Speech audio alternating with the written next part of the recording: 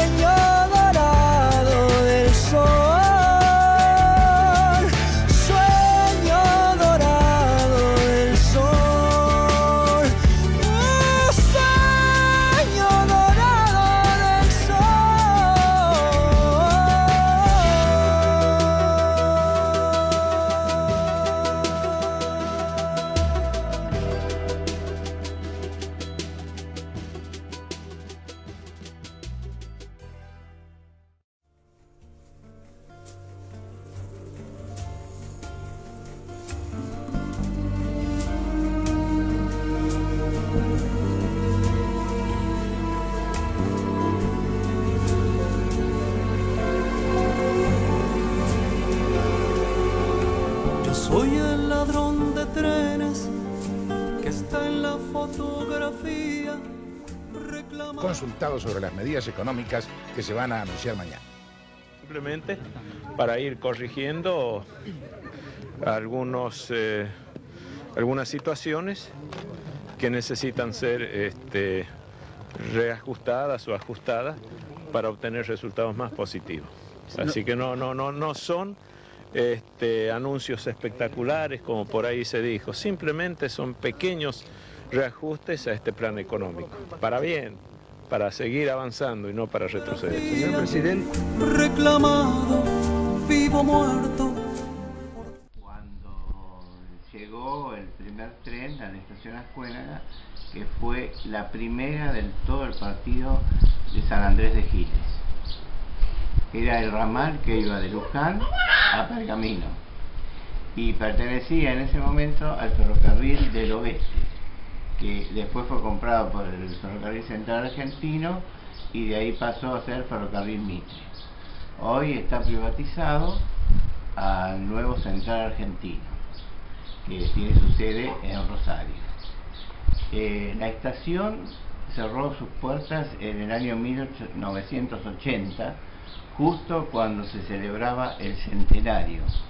Eh, en ese momento eh, fue sacado de su interior todo su patrimonio histórico, llevado por personal de ferrocarril de Buenos Aires, nunca supimos a dónde fue a parar, supuestamente era para engrosar los museos ferroviarios, pero yo creo que eso no ocurrió, sino que todo ese patrimonio se vendió. como ocurrió con la mayoría de las estaciones de, nuestro país. El galpón es del año 1885 y tuvo en su momento un gran movimiento con todo el cereal que se traía de los campos y que se depositaba en el galpón en bolsas de arpillera que después eran llevadas a Buenos Aires eh, a través del puerto o en vagones que se estacionaban al lado del galpón y ahí se cargaban las bolsas. Tuvo muchísima importancia en su momento que hoy los chicos que lo ven semi derruido no pueden creer lo importante que fue para la escuela el galpón de cereales. En el año 1993 se cerró la cuadrilla ferroviaria. Ese fue otro gran golpe dado por la privatización, con el cual dejó sin trabajo a 15 familias de la localidad. La cuadrilla se ocupaba del mantenimiento de las vías desde Luján hasta San Antonio de Areco y siempre fue una de las principales fuentes de trabajo que tuvo el pueblo, por lo tanto cuando desapareció eso fue muy, muy sentido eh, y hasta el día de hoy se lamenta, ¿no? porque eran todos empleados ferroviarios. Ese fue el último gran golpe que recibió y hoy día también el golpe de que ya no pasan más trenes, que en algún momento pasaron trenes de carga, pero hoy ya directamente no hay ni trenes de carga ni de pasajeros. El ramal sigue concesionado, pero es muy poco el mantenimiento que se le realiza, prácticamente nulo. Así que Ascuénaga ha retrocedido 100 años en todo esto porque hay que recordar que en sus comienzos Ascuénaga podía, uno podía viajar en tren a Buenos Aires, ir y volver durante el día, lo cual se ha perdido totalmente desde hace ya muchos años, ¿no? Este, se podía viajar y además el gran movimiento que tenía con todo el cereal que se traía del campo y hoy solamente uno ve la estación y galpón eh, que aparentemente no dicen nada pero que tienen toda una gran historia de, 130 años. policía, mirando bien el retrato. Arrastró a Miguel Ángel por ferrocarriles argentinos. ¿Cuál era su nombre? En ese, tiempo era del Estado el ferrocarril. Mi trabajo era en vía y obra. Vía y obra se llama mantenimiento de las vías. Entré como empleado raso, bueno, después llegué a ser capataz de la cuadrilla. Y se trabajaba con pala, pico, eh, palancha, barreta, para que haga memoria, que ya pasó mucho tiempo. Eh, barreta, barreta de que ustedes por supuesto no saben nada de lo que, es todo. Y ese tipo de herramientas, eh, no sé, porque cuando acá se, se, clausuró el ferrocarril, se fue todo a pergamino, se llevaron todo a pergamino.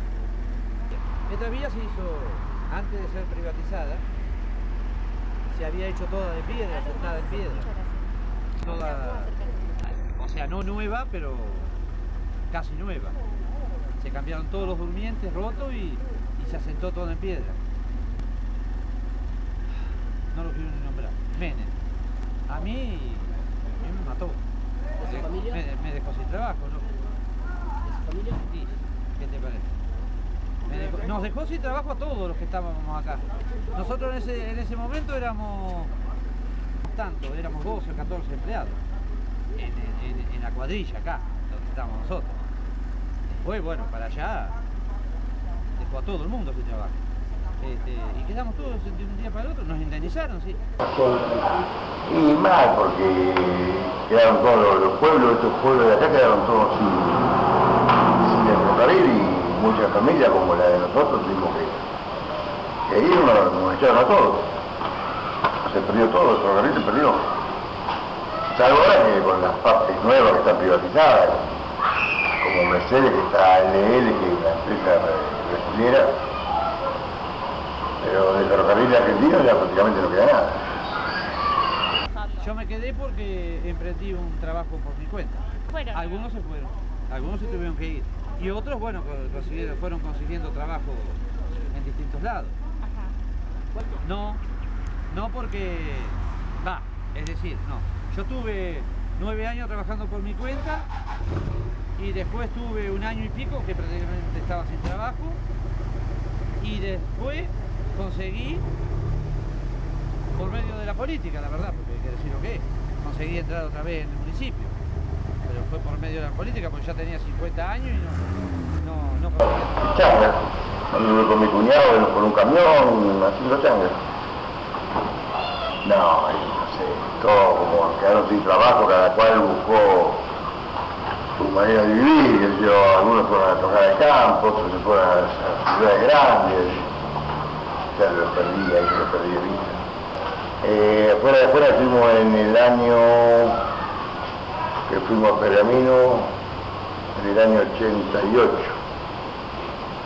En el año 88 fuimos a, me llevaron a la provincia de Pergamino, estuve hasta el 93, que fue el último año que estuve en el ferrocarril, argentino, así que tuve cinco años fuera. Después me volví al pueblo sin trabajo, volví acá a Cuenaga sin trabajo, pero volví vuelta. Sí, sí, hasta el último día de- de mi existencia. Favorecido y llevo la barba crecida, parezco un hombre jodido. No crean lo que están viendo y vayan a preguntar. En el barrio me conocen, yo soy un tipo legal.